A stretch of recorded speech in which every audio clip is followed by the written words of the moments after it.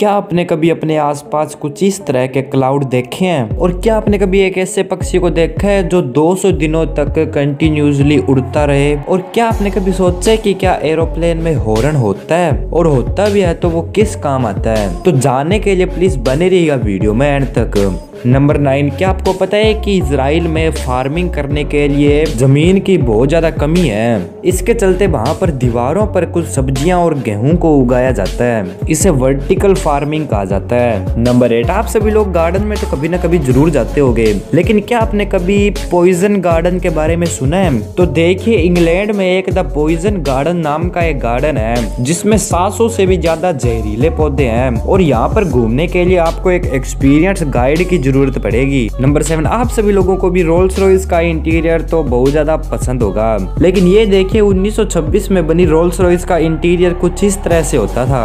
मतलब उस टाइम की रोल्स रॉयस का इंटीरियर बिल्कुल एक किसी महल की थीम के जैसा होता था।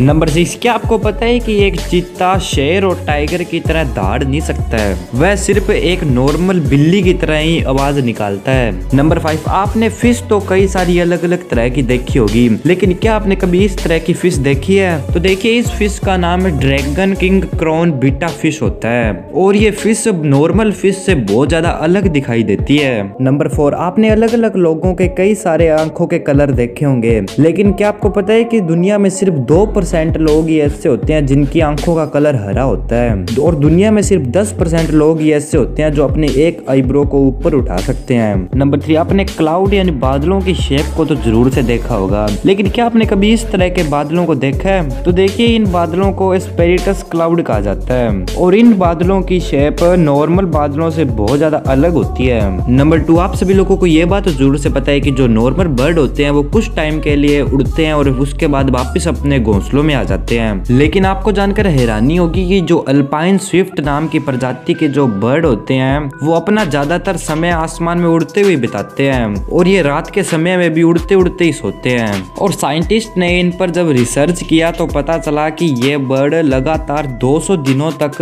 आसमान में उड़ सकते हैं। नंबर वन क्या आप सभी लोगों ने सोचा है कि क्या एरोप्लेन में हॉर्न होता है? और होता भी है तो वो किसके काम आता है? और ये हॉर्न ग्राउंड स्टाफ के लिए लगाया जाता है। और इसका काम एरोप्लेन को पार्किंग पर लगाना और रिफ्यूलिंग करना होता है। तो गाइज़ आज की नई वीडियो पसंद आई तो वीडियो को एक लाइक कर देना और ऐसी मज़ेदार फैक्ट वीडियो देखने के लिए प्लीज़ चैनल को सब्सक्राइब ज़रूर से कर लीजिएगा। मिलते हैं जल्दी किसी नेक्स्ट वीडियो में। Thank you for watching